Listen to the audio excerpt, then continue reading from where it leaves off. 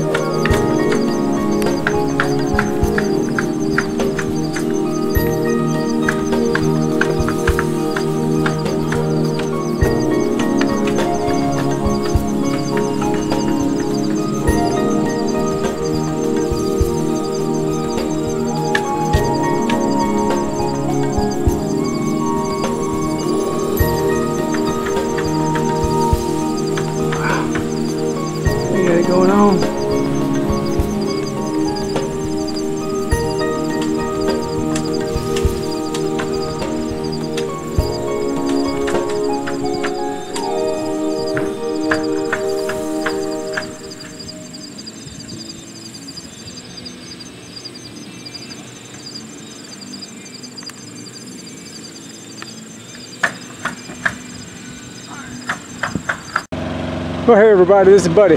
I was driving by and I happened to notice all of these Convoy of Hope getting ready to go somewhere. And they're actually going to uh, Houston, Texas. She's doing a live interview at KY3 or KSPR.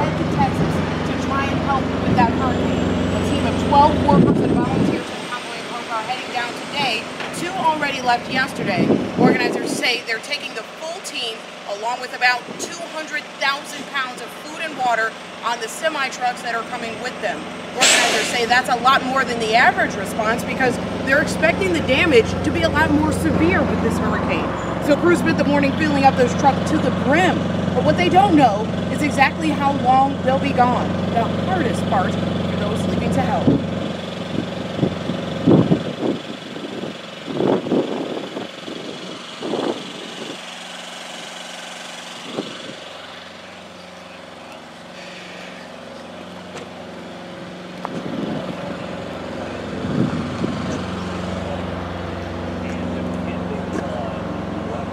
Organizers say they'll have, organizers say they'll have more trucks ready to go as needed, and they'll be rotating those volunteers if they need to. We are living in a computer programmed reality, and the only clue we have to it is when some variable is changed and some alteration in our reality occurs. We would have the overwhelming impression that we were reliving the present, deja vu, perhaps in precisely the same way, hearing the same words, saying the same words. I submit that these impressions are valid and significant. And I will even say this such an impression is a clue that at some past time point a variable was changed, reprogrammed as it were, and that because of this an alternative world branched off